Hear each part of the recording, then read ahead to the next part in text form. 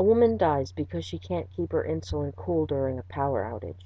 A child is dead and her probable killer is acquitted. These are only two of the millions of examples of America's and humanity's dependence on reaction instead of proaction. I want to discuss today why I believe this is a dangerous trend. April's Fury is a day that will live on in most Alabama and Georgia residents' minds for a long time to come.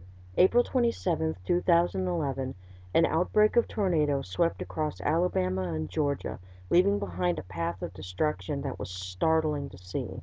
It looked as if a bomb had gone off and completely decimated areas, taking many lives with it. Many died during the storm itself. However, it was the people who died afterward that was the most tragic, because it was those people whose lives could have been saved if preventative measures would have been taken in the first place. Fifty-year-old Carol Lisa Fox of Rainsville in DeKalb County died when the power outage made it impossible for her to keep her insulin cool.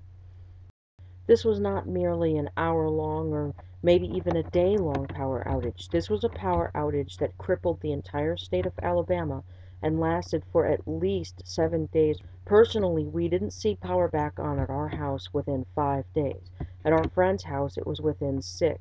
Some I've heard lost power for nine, maybe even ten days. The tornadoes that swept through took out many power stations and made it impossible for the power to be restored within a timely period. Proactive measures could have been used to avoid this tragedy altogether. There wasn't just one instance of a diabetic having difficulty getting trouble. There were many diabetics who suffered through this through this storm. I happen to know one who very nearly ended up in the same position had she not been able to find some ice for herself. My very best friend's mother had to call around to many places, scrambling to find ice to keep her insulin cool. When she called the Red Cross, they were extremely rude to her and told her to call someplace else, but when she called that place, they said that they had been out of ice for a long time. Now, one could think, well, there was nothing that could have been done about this, but that's the wrong line of thinking altogether.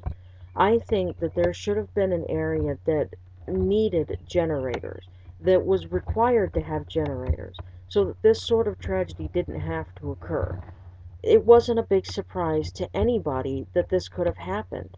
People, especially the people who run stores in these areas, have been here for years and years. They've seen weather like this, uh, maybe not this severe, but they have seen storms. Why should it have been a big surprise that something like this could have happened? Did it never cross anybody's mind that, oh, maybe we could lose power for seven days? Proactive thinking is something that we need. Instead, we have reactive people who only want to take care of the mess after it's been made. The death and possible murder of little two year old Caylee Anthony shocked the entire nation. People were glued to their TVs and to their computers watching the trial, moving right along with everything as if they were a part of it themselves. People began to take a personal stake in finding this woman guilty because all of the evidence that we had been presented with pointed towards her guilt. Imagine everyone's shock and horror when this woman was found not guilty by a jury of her peers. For whatever reason they decide to give us, whether it was because the evidence wasn't there or it didn't point to her, everybody has their own opinions, and yes, so do I. I do believe that she's guilty, and I believe that she's gotten away with murder. But after this case, people have finally decided to begin punishing those who don't report their children. I have here an article, or a photocopy of an article, on exactly that and of the story that I presented to you in the previous segment. Apparently now they're presenting a bill to the response of this not guilty verdict that would make it a felony crime for guardians, legal legal caretakers and parents not to notify law enforcement authorities within 1 hour of the death of a child or within 25 24 hours of a missing child. Did it really take this for us to realize that? Did it really take the death of that little girl and acquittal of this woman to make us realize that this law should have been in place? It's ridiculous and it's horrifying to think that nobody thought that this could happen, that this law should be in place until after this happened. She's not the first person to ever murder her child. Unfortunately, she's not going to be the last person either. And whether she did or didn't do it, it really doesn't matter by this point because she can never be tried again. Even if she writes a book and she confesses everything, she can never be tried again and she can never be put in jail because of double jeopardy.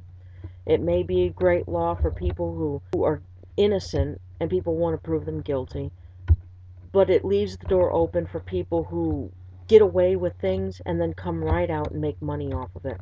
Sure, maybe she'll be fined or taxed, whatever you want to call it, for the money she makes off of this. But really, what does that matter? She's free, and her daughter is dead. These aren't the only examples I have of reactive thinking. Global warming. Now, before you go and start thinking, oh no, another Wiccan tree hugging nut talking about global warming, let me explain myself. I don't so much believe in global warming because I believe that this is all just a cycle that the planet goes through. It gets hotter, it gets colder. It may just be something natural and it may balance itself out. However, because the numbers were fudged, because the people who did all the studies on global warming decided to cherry pick their facts, all of it has been dismissed by most people as just a fantasy that will never come true. But what if it is true? What if there is the possibility that the things that we do harm the planet? That all of our pollution will destroy the ozone layer, all of our cutting down trees might even destroy the oxygen, leaving us less capable of living here. What if there is something to it?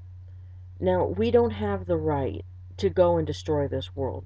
Not because it was given to us by God, not because it's God itself, no, we don't have the right to do it because it doesn't belong to us. It belongs to everyone. When we do something that potentially damages the earth, we do something that potentially damages ourselves. Think about all of the oil runoff that goes into the water if you dump oil in your yard.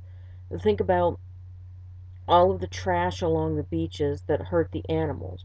Those animals could get sick and spread that sickness to other animals. Eventually, everything will come back at us. Whether global warming is real or not, doesn't it make more sense to take care of the planet and avoid it before it happens instead of waiting to see if it happens and then reacting to it? When it comes to what we should do, do whatever you can. The problem is, most people think that because a lot of these facts were dismissed and other ones were exaggerated, that we don't have to worry about it it takes so much less time to prevent something than it does to clean something up. So, what does it take to be more proactive and less reactive? In the four short minutes I have left, I could never tell you everything, and in fact, I don't know everything, but I do have a few ideas that I hope people will take to heart. If you happen to live in an area where natural disasters or disasters of any kind are more prevalent, invest in a generator. Even if you think you're never going to use it, there may be times when it comes in handy. It's better to have one that you'll never use than to be without one when you absolutely need one. If you own a store, I would highly suggest that you invest in a generator. Also, make sure that you can keep ice in stock. That way, if a, if a power outage threatens your area for a prolonged period of time, you'll be able to supply diabetic patients with ice to help keep their insulin cold. Keep disaster supplies on hand, everything from first aid kits to building materials, uh, tarps, flashlights, batteries, and a weather radio for when the power does go out.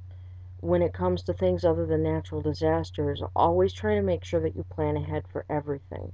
This goes all the way back to having a planned escape route for exiting a building that's on fire, to teaching your child how to not talk to strangers be proactive. There's no way that you can completely erase reaction because reaction is necessary. However, proaction before anything happens will make it so that you can better react later. That's it for today's episode of My Mind on Film. I hope that everybody got something out of this, and I would appreciate feedback whenever possible.